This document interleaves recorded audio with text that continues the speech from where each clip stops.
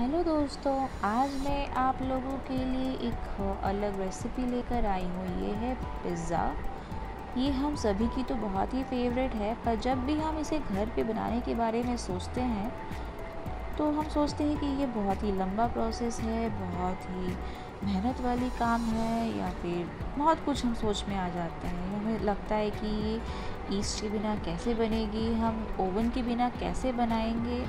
पर ऐसा कुछ नहीं है दोस्तों। आप घर पे विदाउट ओवन या तो विदाउट ईस्ट भी आप इसे बना सकते हो। बहुत ही आसान तरीका है बनाना। आप घर पर जब चाहो इसे बना सकते हो। इजीली अवेलेबल इंग्रेडिएंट्स जो आपके घरों पे ही रहती है, उसी से बना सकते हो। बहुत ही आसान है। बच्चों को अब जब चाहो तब खिला सकते हो। आपको मार्केट भी नहीं जानी पड़ेगी। तो चलिए हम ये रेसिपी आपको बताएँगे। आसान से तरीके से। आप इसे स्टार्ट टू एंड ज़रूर फॉलो कीजिएगा, कैसे बनाने हैं। तो हमने यहाँ पे सबसे पहले एक बोल लिया है, उसमें हमने three tablespoon lukewarm milk लिए हैं मतलब ये दूध लिए हैं।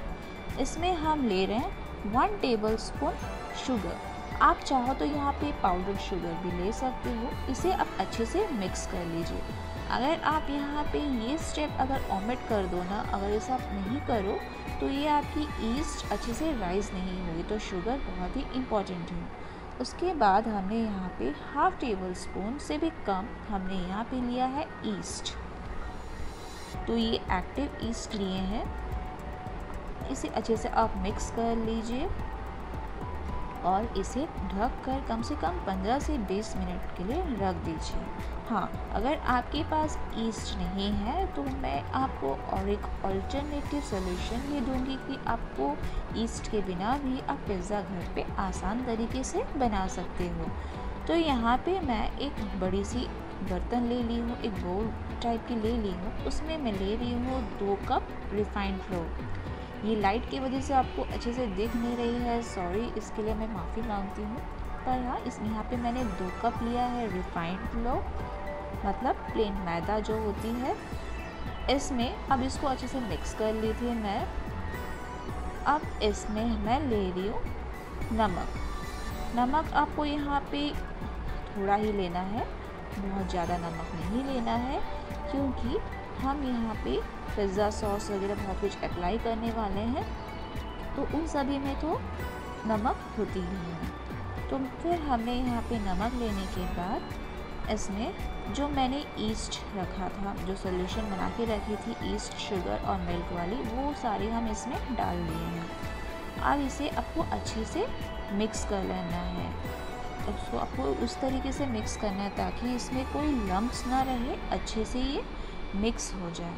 और अगर आपके पास ईस्ट ना हो तो एक दूसरा सॉल्यूशन ये है कि आप एक दो टेबल स्पून यहाँ पे खट्टा दही लीजिए, या एक दिन या दो दिन की जो हम जमा कर रखते हैं, वो दही लीजिए। बहुत ज़्यादा खट्टा ना भी हो तो चलेगा फिर उसमें हमको थोड़ा सा चीनी देना है पाउडर शुगर फिर उसमें आपको लेना है हाफ़ से भी कम बेकिंग सोडा हाफ़ से भी कम चम्मच हमें लेना है बेकिंग पाउडर इसे उसके आगे मतलब ईस्ट ना हो तो आप ये सारी चीज़ों से भी अब बना सकते हो। फिर हमने यहाँ पे लिया है दो चम्मच रिफाइंड ऑयल जो हम प्लेन जो ऑयल होती है, जो हम खाना बनाते हैं, वो ऑयल ली हो। इसमें आपको ज़्यादा तेल नहीं लेना है। आप इसे अच्छे से मिक्स कर लीजिए।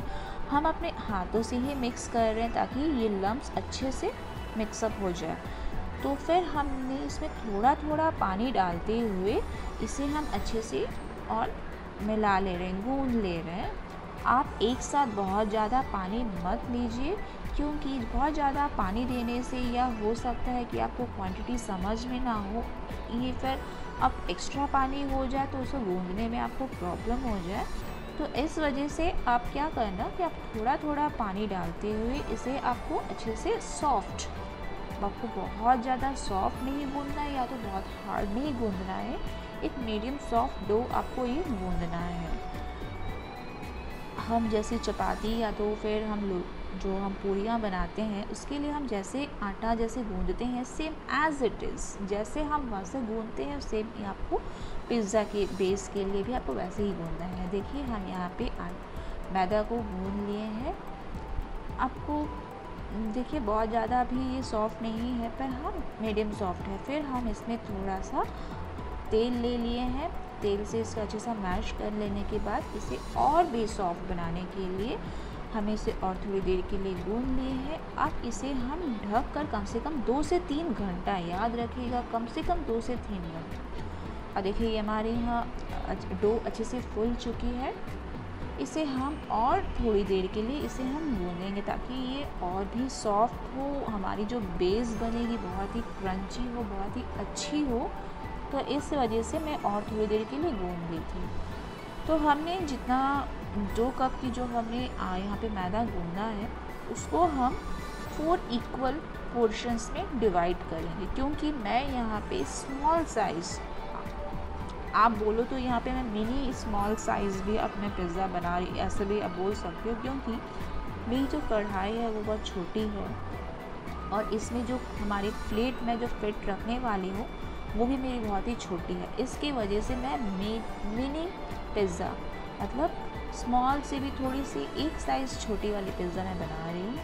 अगर आपको बड़ी बनानी है या मीडियम साइज़ की बनानी है, आप इसे दो इक्वल पोर्शंस में भी डिवाइड करके बना सकते हैं। तो फिर देखिए, मैं यहाँ पे एक जो पोर्शन है, उसको मैं वन थर्ड डो बॉल को एक अलग कर चुकी और टू थर्ड को मैं अलग रख रही हूँ। तो सबसे पहले जो मैंने वन थर्ड वाली जो डो बॉल है, जो मतलब मैदा वाली जो हमने स्मॉल पोर्शन वाली जो बॉल है, उसको मैं मकई की आटा से इसे अच्छे से रोल कर लूँगी। मकई की आटा देने से क्या होगा ना कि हमारी जो ये बेस बनेगी ना, बहुत ही क्रंची होगी। अगर आप मैदा से भी बना सकते हो, पर मैं आप लोगों को सजेस्ट करूँगी, आप यहाँ पे कॉर्न फ्लोर लीजिए, तब आपकी जो बेस बनेगी ना, बहुत ही अच्छी बनेगी, बहुत ही क्रंची बनेगी, आपको खाने में बहुत ही मज़ा आएगा।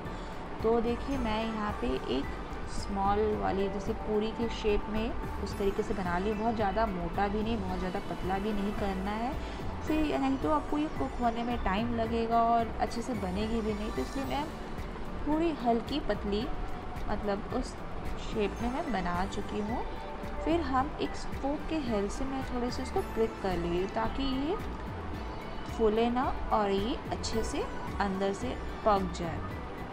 तो देखिए, मैं इस तरीके से हर एक साइड में मैं अच्छे से मैं प्रिक कर ले रही हूँ ताकि कहीं से कोई भी फूलने की चांसेस ही ना हो।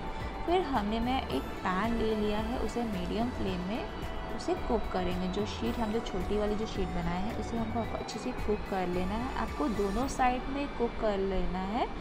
आपको तब तक कुक करना है जब तक उसमें एक स्लाइट गोल्डन कलर की वो कलर ना आ जाए, तब तक आपको इसे कुक करना है। आपको बहुत ज़्यादा देर तक इसे कुक करने की ज़रूरत नहीं है, क्योंकि हम इसमें सेकेंड स्टेप जो है, तब फिर ये पकेगी। तो आपको जस्ट हल्का गोल्डन कलर जब तक ना आ जाए, आपको तब तक इसे आपको कुक करना है। तो जैसा मैं ये कर रही हूँ, उसी तरीके से बाकी चारों की वन थर्ड पोर्शन वाली बॉल्स को मैं सेम एज इट इज़ बना लूँगी। फिर जब तक वो बन रहा था मैंने यहाँ पे कढ़ाई में थोड़ा सा नमक देकर एक छोटा सा मेरे पास बोल था उसको रख कर मैं ये प्री हीट होने के लिए रख दी थी। देखिए जिस तरीके से बनाई थी उसी तरीके से और भी बाकी चारों को भी मतलब आई I मीन mean, तीनों को मैं बना चुकी हूँ। अब जो ये टू थर्ड वाली जो पोर्शन थी उसको मैं रोल कर लूँगी। वही सेम राउंड शेप बॉल के जो मतलब बॉल जैसे बनाते हैं, वैसे ही एक बड़ी वाली रोटी साइज़ की मैं बना ले रही हूँ। इसे भी आपको बहुत ज़्यादा मोटा नहीं रखना है। अब हल्का सा आपको मतलब पतले साइज़ नहीं आपको मतलब आई मीन पतली रखना है। इसे भी मैं फोक के हेल्प से मैं प्रिक कर ले रही हूँ ताकि ये नीचे वाला भी फूले ना और आसानी से ये बन जाए और इसमें इस आई मीन अगर ये फूले तो हम जो इसमें वेजेस वगैरह कॉर्न वगैरह देने वाले हैं, ये अच्छे से इसमें फिट हो जाए, ये बाहर ना निकल जाए। अगर फूल जाएगी ना तो ये सारी हमारी जो सब्ज़ियाँ हम रखने वाले हैं, इसके ऊपर, ये सारी ठीक से फिट नहीं हो पाएगी। तो फिर देखिए, इसमें हम थोड़ा सा चीज़ ले रहे हैं। ग्रेटेड चीज़ मैं ले रही हूँ। आप यहाँ पे चाहो तो चीज़ की जो शीट्स आती है, वो भी आप दे सकते हो। या फिर जो पिज़्ज़ा, जो मोरजिला चीज़ होती है, वो भी आप दे सकते हो, पर मुझे ये मौजला चीज़ नहीं मिल रही थी तो मेरे पास ये ग्रेटेड चीज़ थी, यही मैं यूज़ कर रही हूँ। और फिर मैंने जो कुक किया हुआ, जो छोटी साइज़ की जो हमने शीट बना के रखे थे, वो इसके ऊपर मैं रख चुकी हूँ। और बड़ी चपाती, जो बड़ी शीट है उसके कॉर्नर्स आई मीन एंड्स में मैं थोड़ा थोड़ा पानी लगा कर इसे मैं सील कर ले रही हूँ ताकि ये जो चीज़ हम दिए हैं, ये मेल्ट होकर बाहर ना निकले और अच्छे से ये अंदर से कुक हो जाए और पिज़्ज़ा की टेस्ट अमेजिंग होकर बाहर आए और बच्चों को ये बहुत ही पसंद आ जाए। तो चलिए, बहुत हो गया तो हमने यहाँ पे सील कर लिया है। इसे अच्छे से, पानी के बिना ये अच्छे से सील नहीं हो पाएगी। अच्छा तो फिर हमारा नेक्स्ट स्टेप है, इसे हम फिर से फोक के हेल्प से हम फ्रिक कर ले रहे हैं, ताकि ये भी हमें मतलब फुल है ना, ये अच्छे से क्रंची में ही, ये जो बेस है, वो क्रंची क्रंची रहे, अच्छी रहे। तो फिर देखिए, हमें यहाँ पे हमारा बन चुका है, उसके बाद हमने यहाँ पे लिया है पिज़्ज़ा सॉस अगर आपके पास पिज़्ज़ा सॉस नहीं है तो आप यहाँ पे प्लेन टोमेटो सॉस केचप जो भी है बच्चों के लिए तो बहुत ही आई मीन बच्चों तो हमेशा ये पसंद करते ही हैं। तो घर पे तो हमेशा रहती है अवेलेबल इंग्रेडिएंट है। अगर आपके पास पिज़्ज़ा सॉस ना हो। और एक ऑल्टरनेटिव है कि आप या तो सेजवन सॉस चिली सॉस को मिक्सअप करके भी आप यहाँ पे लगा सकते हो। जैसी आपकी मर्ज़ी, आप कोई भी यहाँ पे सॉस लगा सकते हो। फिर उसके ऊपर से मैं फिर से थोड़ा सा ग्रेटेड चीज़ दे दी हूँ, क्योंकि हम यहाँ पे बना रहे हैं चीज़ बर्स्ट कॉर्न पिज़्ज़ा तो हमें यहाँ पे चीज़ तो लगेगी। तो मैं यहाँ पे चीज़ दे चुकी हूँ। फिर उसके ऊपर से मैं कुछ स्टफिंग जैसे कि मैं आई मीन नॉट स्टफिंग जैसे मैं कुछ वेजेस ऊपर से लगा रही हूँ। जैसा मैं यहाँ पे ली हूँ ओनियन हम कुछ आई मीन टोमेटोज़ लेंगे। मेरे पास कैप्सिकम नहीं था या अगर आपके पास अवेलेबल है तो आप कैप्सिकम भी लगा सकते हो। आपके पास जो भी वेजेस हो, आप इसमें लगा सकते हो। तो मेरे पास ये ऑनियन और टोमेटो ही था, फिर मेरे पास कुछ कॉर्न भी था तो इसके वजह से मैं कॉर्न भी दूँगी इसमें। वो भी बॉयल्ड कॉर्नस आप नॉर्मल जो मार्केट में तो मिलती है बॉयल्ड कॉर्नस अब वो डायरेक्टली अभी आप लेकर इसे आई मीन रख सकते हो या तो फिर आप जो कच्ची जो हमें बाज़ार मार्केट में मिलती है, उसे लेकर भी आप इसे बॉईल करके इधर रख सकते हो। क्योंकि कॉर्न को बॉईल होने में बहुत ज़्यादा टाइम लगता है, इसलिए हम पहले ही इसे कुक कर लिए थे। कॉर्न को हम पहले ही बॉईल कर लिए थे। और अगर आपको यहाँ पे कॉर्न पसंद ना हो तो आप कॉर्न को अवॉइड भी कर सकते हो विदाउट कॉर्न भी। ये पिज़्ज़ा बहुत ही अमेजिंग बनने वाली है, बहुत ही टेस्टी बनने वाली है। तो देखिए, हमारा यहाँ पे पिज़्ज़ा हमने यहाँ सेट कर लिया है। फिर हम इसमें दे रहे हैं पिज़्ज़ा सीजनिंग अगर आपके पास ये पिज़्ज़ा सीजनिंग ना हो तो आप इसे अवॉइड कीजिए इग्नोर कीजिए। अब विदाउट पिज़्ज़ा सीजनिंग भी ये बहुत ही अच्छी बनेगी। इतनी टेस्ट सेम वैसे ही रहेगी विदाउट पिज़्ज़ा सीजनिंग के बिना भी। तो हमने यहाँ पे पिज़्ज़ा सीजनिंग दे दिया। फिर हमने यहाँ पे एक प्लेट ले लिया है जिसमें मैं पिज़्ज़ा सेट करने वाली हूँ।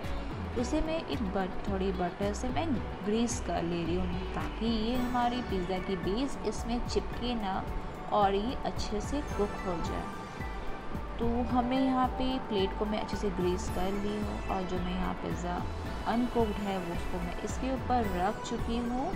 रखने के बाद इसमें, जैसे कि मैं पहले ही पैन को प्री हीट करने के लिए रख दी थी, अब इसमें वो प्लेट को मैं ठीक से सेट कर दूँगी। आप यहाँ पे ध्यान से रखिएगा क्योंकि हमारे यहाँ पैन ऑलरेडी बहुत ज़्यादा ही गर्म है।